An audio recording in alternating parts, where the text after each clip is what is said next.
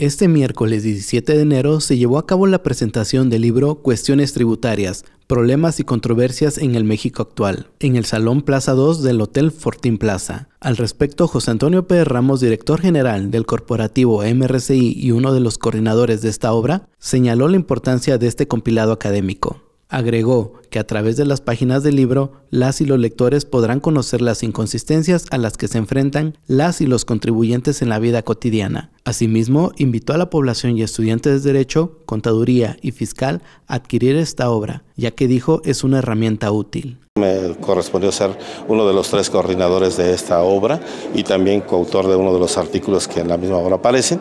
Y pues se trata precisamente de cuestiones tributarias, problemas y controversias del México actual, en la cual vamos a encontrar una serie de vicisitudes a las cuales se enfrentan los contribuyentes en el día a día y en el cotidiano trabajo y por lo cual también es necesario que el contribuyente conozca cuáles son sus obligaciones, pero también así como sus derechos para efectos de obtener una adecuada y planeada defensa. Que se alleguen de este documento porque les va a servir muchísimo en su trabajo cotidiano y desde luego que abre muchísimas líneas de investigación también para estudiantes de la materia. Por su parte, Abel Morales Santiago, procurador fiscal de la Secretaría de Finanzas del Gobierno del Estado de Oaxaca, destacó la metodología implementada en el compilado, cuestiones tributarias problemas y controversias en el México actual. Añadió que los temas tratados son vigentes y de gran utilidad para especialistas en el ámbito fiscal y para la ciudadanía en general. Sí, la verdad es un libro que está muy bien estructurado, es un libro que metodológicamente está bien elaborado,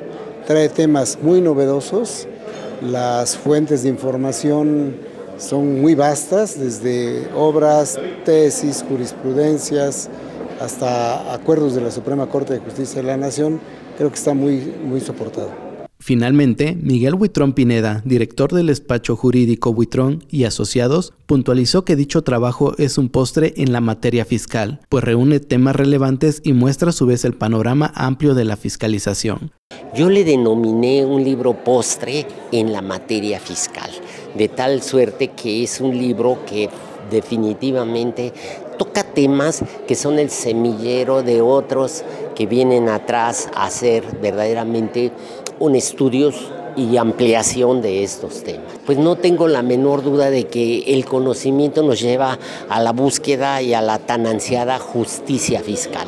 Eso es lo que yo recomendaría la lectura de este libro. Cabe señalar que durante el evento se realizó la rifa de tres ejemplares del libro, resultando ganadores Cintia Hernández, Gabriel Perea y Óscar Salinas. Con información de Carolina Montalvo e imágenes de Eric Díaz, MBM Noticias.